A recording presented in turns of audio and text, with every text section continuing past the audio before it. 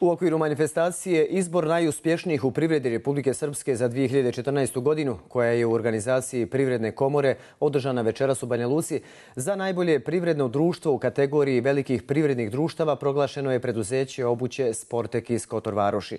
Najbolje srednje privredno preduzeće je Alpro iz Vlasenice, a najbolje malo preduzeće je Bijeljinski Tanasić. Najbolji parametar marljivog i uspješnog rada je najbolje privredno društvo Sportek iz Kotor Varoši. Član upravnog odbora ovog preduzeća Miroslav Petreš, koje zapošljava oko 1700 radnika, rekao je da će ovo preduzeće još više učvrstiti svoj razvojni put.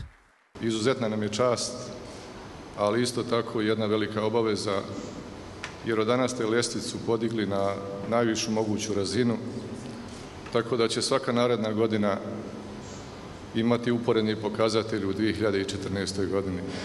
Predsjednik Privredne komore Republike Srpske Borko Đurić naglasio je da su nagrađena ona preduzeća koja su na tržište plasirala proizvode prepoznatljivog kvaliteta i koja zadovoljavaju sve evropske standarde. Svi zajedno, kaže Đurić, moramo raditi na zaštiti domaće privrede bez koje nema budućnosti na ovim prostorima.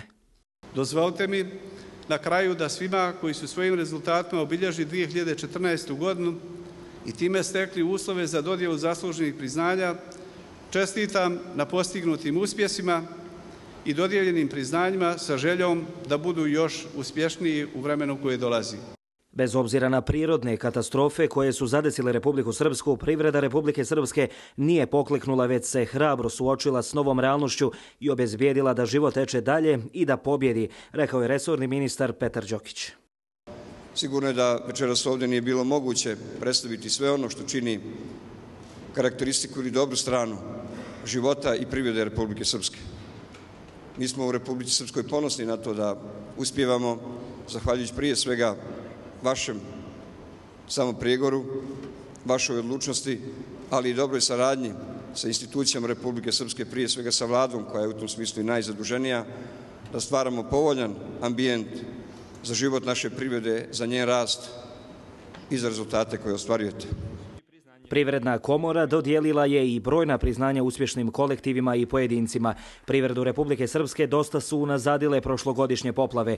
U nadi da nas ovako nešto više nikada ne zadesi, etnogrupa Iva je uz pjesmu Ne dodole otjerala sive oblake.